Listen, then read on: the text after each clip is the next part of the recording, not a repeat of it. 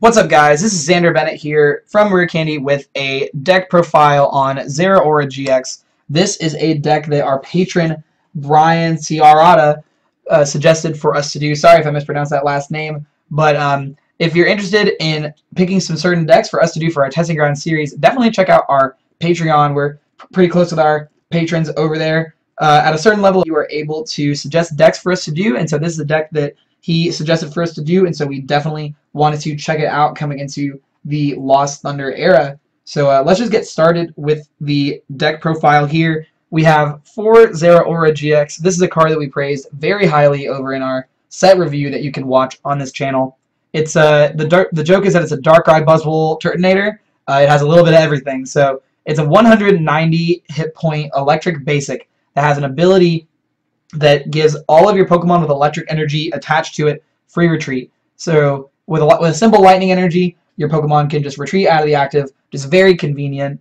And then the middle attack for Lightning Lightning Colorless, which is even better than Knuckle Impact, uh, lets you do 160, and this Pokemon can't attack on this next turn. But it's pretty irrelevant because of the ability to just retreat and save all your energies, and then just end up back in the active with a Guzma or another effect. And the GX attack for one lightning lets you attach five basic energy of any kind from your discard pile to your Pokemon. This deck is always going to be accelerate accelerating lightnings, but if you're playing something like this with maybe Rayquaza, you can get electric and grass energy back with this too. So this card is just a powerhouse overall. Just a very strong card. I don't know if the way that this list is put together is the best home for it, but it's definitely a good starting place for such a powerful card like this.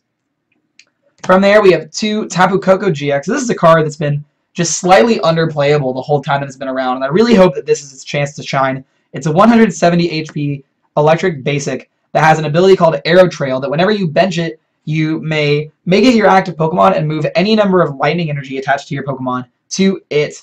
So Sky High Claws is the attack that we're probably using for it. For Lightning Lightning Colorless, it's a flat 130. And the big thing here is that it has no weakness or resistance. So things like Baby Buzzwole or Buzzwole GX just kind of hit this thing and don't do the relevant damage like they would to a Zeraora. The GX attack, though it is not the one that we will normally use, is good for Lightning Lightning Colorless. It's 50 times the number of energies they have in play with Tapu Thunder GX, but it's going to be so much more important to use Zeraora's GX attack that this does not come up as often.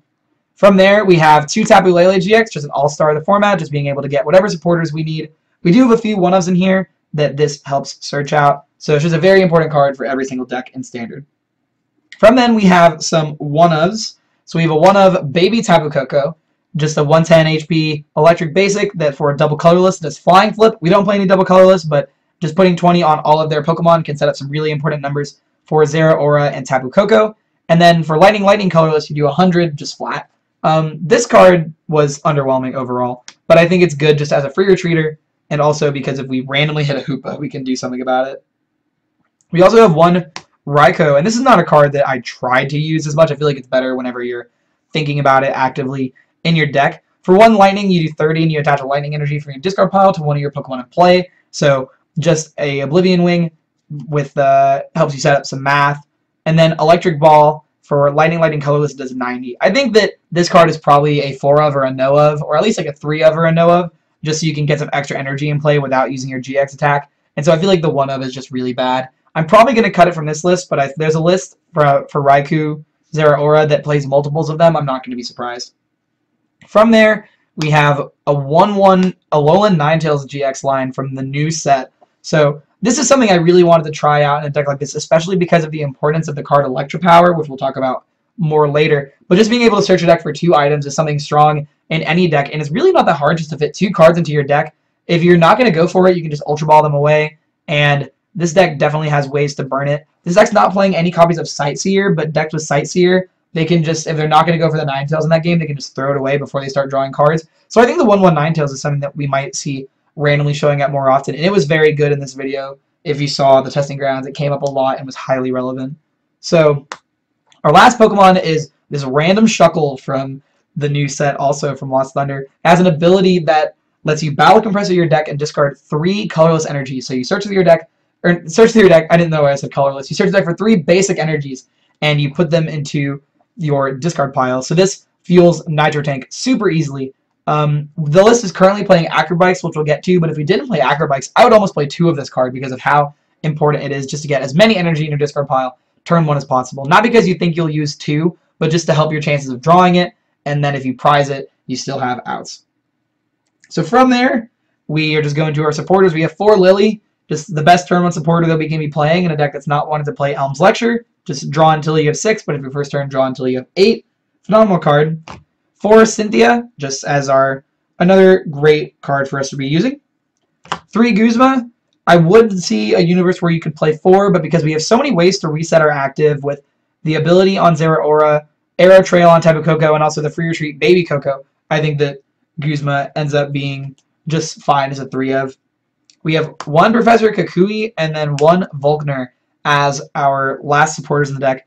Professor Kukui just gives us 20 damage whenever we need it. The two cards isn't really the reason why we're playing it. It does help with some more relevant numbers. So for example, a Choice Band Kukui um, Thunder Impact, I'm pretty sure, I might be messing it up, uh, does 210, and then also instead of the Choice Band, you can have an Electro Power. So the math does come up pretty frequently. And then Volkner can turn into a glorified Kukui. Just without drawing the cards, you search your deck for an electric Power and a Lightning Energy, just so you can do the damage that you need. But also, if you don't need the electric energy, the damage, you can just kind of get any item in your deck to help your consistency out.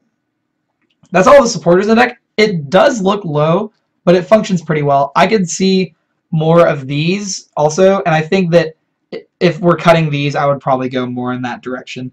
Um, just to kind of get that 20 damage whenever we need it instead of Koko, and then Volkner gets our energy when we need it whenever we don't have Raikou.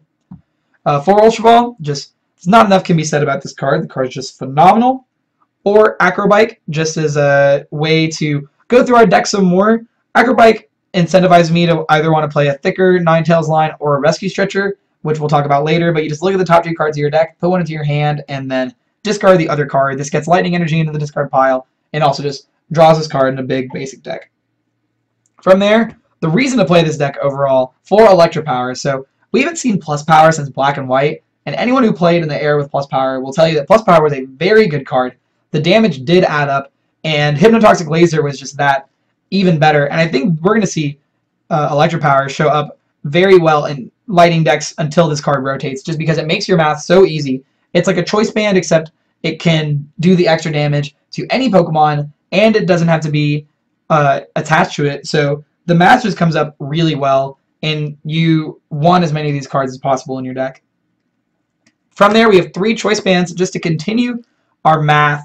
And this deck just hits some crazy numbers really easily. A Tapu Koko with a choice band and an Electro Power can do 190, knocking out Buzzwoles. A Zeraora with a choice band and a Electro Power knocks out Zoroarks. One of these in the Kukui or a Flying Flip knocks out a Zoroark. Two of these and a Kukui does 230. Your numbers add up really quick with this deck.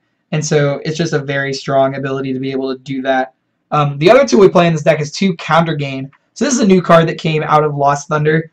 If you are behind on prizes, all of your attacks cost one colorless less. So both these attackers attack for one colorless. And also, I believe at one point I used Energy Drive with this and a Lightning because I was behind on prizes. So that's another play that you can do.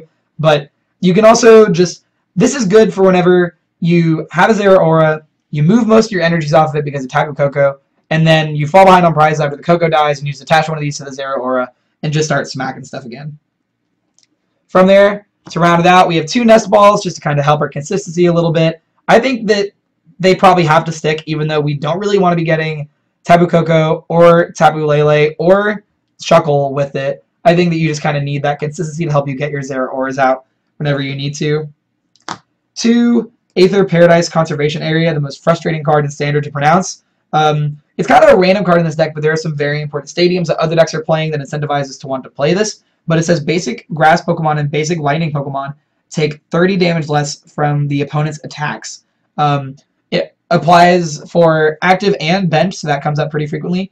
And it's after applying weakness and resistance, which is just how these cards are normally templated. So this can change some math that would be like a one-hit KO into a two-hit KO, and that's good enough for us to play this. If this works for one turn in a metagame with lower counts of Field Blower, this is good enough and it's done its job. We also want some more stadiums so that whenever we play our Thunder Mountain Prism Star, we've kind of bumped the rest of their stadiums off of the table. Thunder Mountain is a very good card that the longer we get to use it, the better it gets. So It has the same text that all of the other Prism Stars do, where you can't field blower it away. It has to be discarded by playing into the stadium or an attack.